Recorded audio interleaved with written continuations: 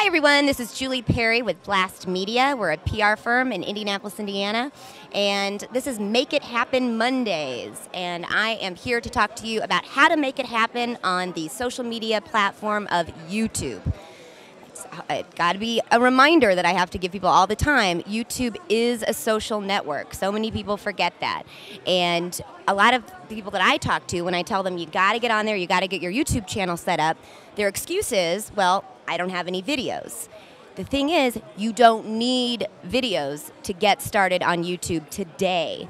All you need to do is set up a channel using some keywords that have something to do with your niche, whether it's a product or a service, something to do with your business, and get that channel reserved. Get that username or profile name, it's all the same, the account name when you set up. Get that reserved and then go on, get a custom made background. You can probably find one.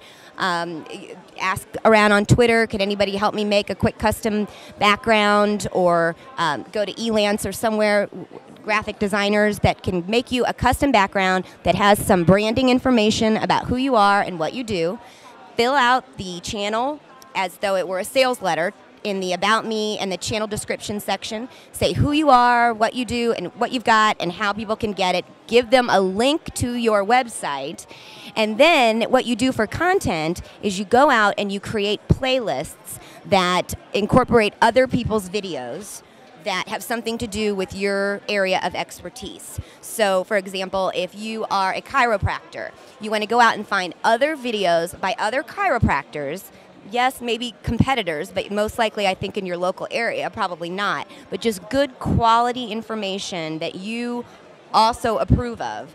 Go out and save those videos into various chiropractor type playlists based on subject and showcase that on the channel and then make one of the videos, maybe your favorite video by an expert in your field, make that the featured video and then have it autoplay on the channel, and then uh, go out and just start networking.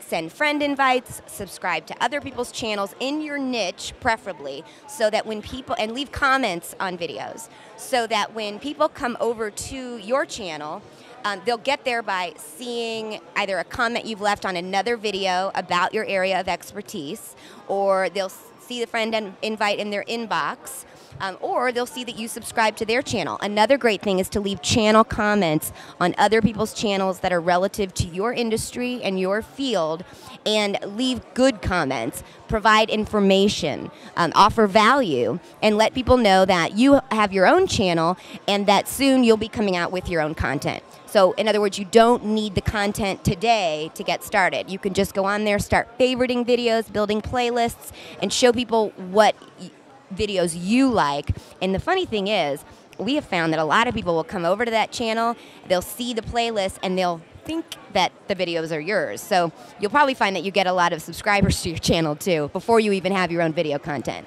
So make it happen Mondays. That's my advice to you. Don't wait until you have video content to get your YouTube channel up, optimized with information and links over to your main website, and then start socializing.